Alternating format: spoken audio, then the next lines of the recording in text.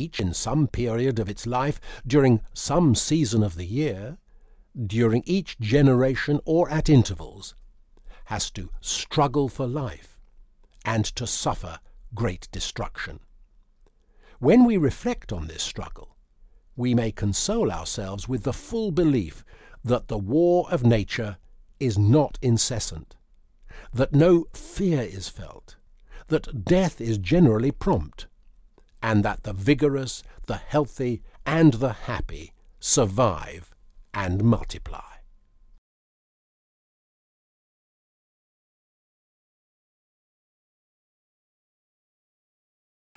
Darwin had a very particular faith. He was brought up and very heavily influenced by the theology of William Paley. William Paley was the most influential theologian at the start of the 19th century, and he was a natural theologian. And what Paley wrote and what he reckoned was that, in a sense, you could read God off nature. Now, there's a very long and venerable tradition of that in, in the Christian church, but Paley pushed that, in a sense, to extremes, to the extent you could understand the true nature of God from creation, because creation was so happy and peaceful and at ease with itself. And that was the kind of understanding of creation and therefore of God that Darwin had.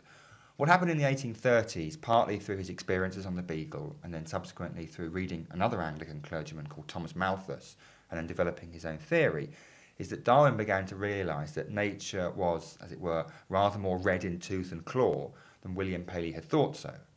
And so Darwin's faith, that in a sense rested on Paley's arguments, fell apart because Paley's arguments turned out to be very much weaker than Darwin had originally recognised. So Darwin's faith, in a sense, theoretically fell apart because of the problem of suffering, specifically. Now, he remained a, a, believer of sorts for a good 10, 15 years after those thoughts first occurred to him. But in 1851, he witnessed the, the death of his um, favourite child, favourite daughter, Annie, in Malvern in 1851. And he was there for the entire week of her very painful, very degrading death. And if you like, this was the experience of suffering that brought the theory home to him. And he was no longer, after that, able to reconcile the God of Christianity with his experience of the world.